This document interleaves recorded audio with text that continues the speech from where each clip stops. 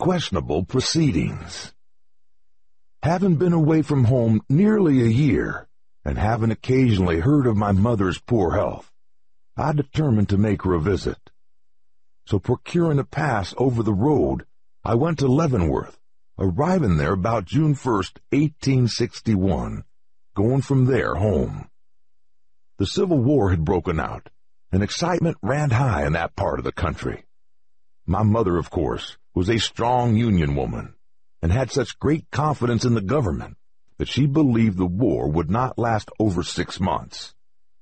Leavenworth at that time was quite an important outfitting post for the West and Southwest, and the fort there was garrisoned by a large number of troops. While in the city one day, I met several of the old as well as the young men who had been members of the Free State Party all through the Kansas troubles, and who had, like our family, lost everything at the hands of the Missourians. They now thought a good opportunity offered to retaliate and get even with their persecutors, as they were all considered to be secessionists. That they were all secessionists, however, was not true as all of them did not sympathize with the South. But the Free State men, myself among them, took it for granted that as Missouri was a slave state, the inhabitants must all be secessionists, and therefore our enemy. A man by the name of Chandler proposed that we organize an independent company for the purpose of invading Missouri and making war on its people on our own responsibility. He at once went about it in a very quiet way and succeeded in inducing 25 men to join him in the hazardous enterprise, having a longing and revengeful desire to retaliate upon the Missourians for the brutal manner in which they had treated and robbed my family. I became a member of Chandler's company. His plan was that we should leave our homes in parties of not more than two or three together and meet at a certain point near Westport, Missouri on a fixed day. His instructions were carried out to the letter, and we met at the rendezvous at the appointed time. Chandler had been there some days before us, and thoroughly disguised, had been looking around the country for the whereabouts of all the best horses. He directed us to secretly visit certain farms and collect all the horses possible and bring them together the next night. This we did, and upon reassembling it, was found that nearly every man had two horses. We immediately struck out for the Kansas line, which we crossed at the Indian Ferry on the Kansas River, above Wyandotte. And as soon as we had set foot upon Kansas soil, we separated with the understanding that we were to meet one week from that day at Leavenworth. Some of the parties boldly took their confiscated horses into Leavenworth, while others rode them to their homes. This action may look to the reader like horse stealing, and some people might not hesitate to call it by that name. But Chandler plausibly maintained that we were only getting back our own, or the equivalent, from the Missourians, and as the government was waging war against the South, it was perfectly square and honest, and we had a good right to do it. So we didn't let our consciences trouble us very much. We continued to make similar raids upon the Missourians off and on during the summer, and occasionally we had running fights with them.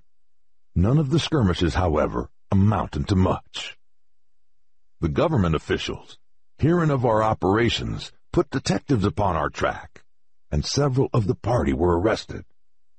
My mother, upon learning that I was engaged in this business, told me it was neither honorable nor right, and she would not for a moment countenance any such proceedings. Consequently, I abandoned the jayhawking enterprise, for such it really was. About this time, the government bought from Jones and Cartwright several ox trains, which were sent to Rolla, Missouri, all being put in charge of my old and gallant friend, Wild Bill, who had just become the hero of the day on account of a terrible fight which he had with a gang of desperadoes and outlaws, who infested the border under the leadership of the then notorious Jake McCandless. In this fight, he had killed McCandless and three of his men. The affair occurred while Wild Bill was riding the Pony Express in western Kansas. The custom with the express riders, when within half a mile of a station, was either to begin shouting or blowing a horn in order to notify the stock tender of his approach, and to have a fresh horse already saddled for him on his arrival so that he could go right on without a moment's delay. One day, as Wild Bill neared Rock Creek Station, where he was to change horses, he began shouting as usual at the proper distance. But the stock tender, who had been married only a short time, and his wife, living with him at the station, did not make his accustomed appearance. Wild Bill galloped up, and instead of finding the stock tender ready for him with a fresh horse, he discovered him lying across the stable floor with the blood oozing from a bullet hole in his head. The man was dead, and it was evident that he had been killed only a few moments before. In a second, Wild Bill jumped from his horse, and looking in the direction of the house, he saw a man coming towards him. The approaching man fired on him at once, but missed his aim. Quick as lightning, Wild Bill pulled his revolver and returned the fire. The stranger fell dead, shot through the brain. Bill, Bill, help, help, save me. Such was the cry that Bill now heard.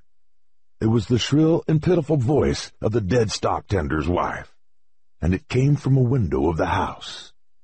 She had heard the exchange of shots and knew that Wild Bill had arrived. He dashed over the dead body of the villain whom he had killed, and just as he sprang into the door of the house, he saw two powerful men assaulting the woman.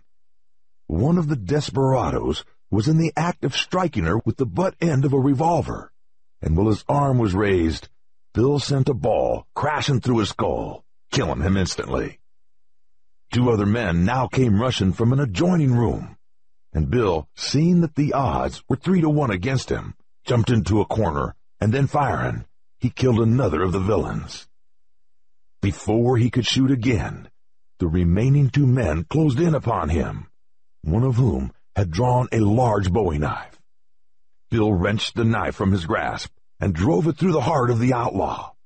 The fifth and last man now grabbed Bill by the throat and held him at arm's length. But it was only for a moment, as Bill raised his own powerful right arm and struck his antagonist's left arm such a terrible blow that he broke it. The disabled desperado, seeing that he was no longer a match for Bill, jumped through the door, and mounting a horse, he succeeded in making his escape, being the sole survivor of the Jake McCandless gang. Wild Bill remained at the station with the terrified woman until the stage came along, and then consigned her to the care of the driver. Mounting his horse, he at once galloped off, and soon disappeared in the distance, making up for lost time. This was the exploit that was on everybody's tongue and in every newspaper. It was one of the most remarkable and desperate hand-to-hand encounters that has ever taken place on the border. I happened to meet Wild Bill at Leavenworth as he was about to depart for Rolla. He wished me to take charge of the government trains as a sort of assistant under him, and I gladly accepted the offer. Arriving at Rolla, we loaded the trains with freight and took them to Springfield, Missouri.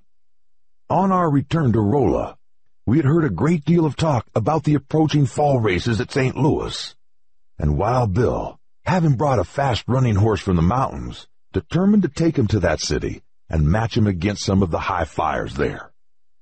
And down to St. Louis we went with this running horse, placing our hopes very high on him. Wild Bill had no difficulty in making up a race for him. All the money that he and I had, we put up on the mountain runner. And as we thought we had a sure thing, we also bet the horse against $250. I rode the horse myself, but nevertheless, our sure thing, like many another sure thing, proved a total failure. And we came out of that race minus the horse and every dollar we had in the world. Before the race, it had been make or break with us, and we got broke. We were busted in the largest city we had ever been in, and it is no exaggeration to say that we felt mighty blue. On the morning after the race, we went to the military headquarters, where Bill succeeded in securing an engagement for himself as a government scout. But I, being so young, failed in obtaining similar employment. While Bill, however, raised some money by borrowing it from a friend, and then buying me a steamboat ticket, he sent me back to Leavenworth while he went to Springfield, which place he made his headquarters while scouting in southeastern Missouri. One night, after he had returned from a scouting expedition, he took a hand in a game of poker, and in the course of the game, he became involved in a quarrel with Dave Tutt, a professional gambler, about a watch which he had won from Tutt, who would not give it up. Bill told him he had won it fairly, and that he proposed to have it. Furthermore, he declared his intention of carrying the watch across the street next morning to military headquarters, at which place he had to report at nine o'clock. Tutt replied that he himself would carry the watch across the street at nine o'clock, and no other man would do it. Bill then said to Tutt that if he attempted anything of the kind, he would kill him. A challenge to a duel had virtually been given and accepted, and everybody knew that the two men meant business. At nine o'clock the next morning, Tutt started to cross the street. while Bill, who was standing on the opposite side, told him to stop. At that moment, Tutt, who was carrying his revolver in his hand, fired at Bill, but missed him. Bill quickly pulled out his revolver and returned the fire, hitting Tutt squarely in the forehead and killing him instantly. Quite a number of Tutt's friends were standing in the vicinity, having assembled to witness the duel. And Bill, as soon as Tutt fell to the ground, turned to them and asked if any one of them wanted to take it up for Tutt. If so, he would accommodate any of them then and there. But none of them cared to stand in front of Wild Bill to be shot at by him. Nothing, of course, was ever done to Bill for the killing of Tutt. Well, that's about it for now. I hope my tales have brought at least a little liveliness into your hearts. I got to go now, but don't worry too much about me. I am sure to be back. Yours truly, Buffalo Bill Cody. We hope you enjoyed this interesting audio title. For more information on all of our titles, please visit us at thoughtaudio.com.